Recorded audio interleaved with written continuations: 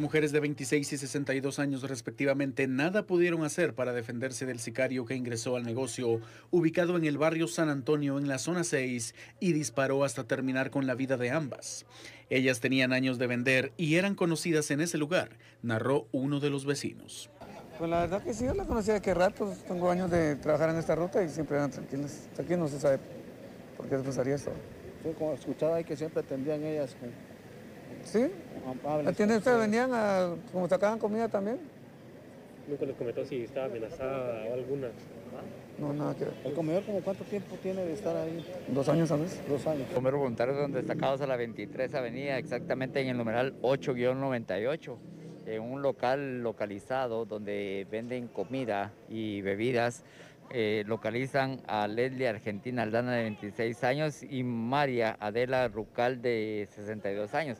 Estas dos personas resultan con heridas ocasionadas con proyectiles de arma de fuego. Testigos narraron a los agentes policiales que el responsable fue un hombre con apariencia de pandillero que vestía una chumpa negra, una gorra plana y un maletín de color negro. El responsable no fue capturado.